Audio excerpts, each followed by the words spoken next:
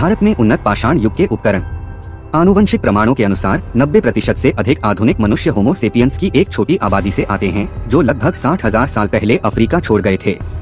शोधकर्ताओं का मानना है कि समूह इतना सफल हो सकता है, क्योंकि उन्होंने बेहतर पत्थर के औज़ार विकसित किए थे, ठीक पत्थर के ब्लेड जिन्हें भारी हाथ कुल्हाड़ियों के बजाय भाले के सिरों पर इस्तेमाल किया जा सकता था।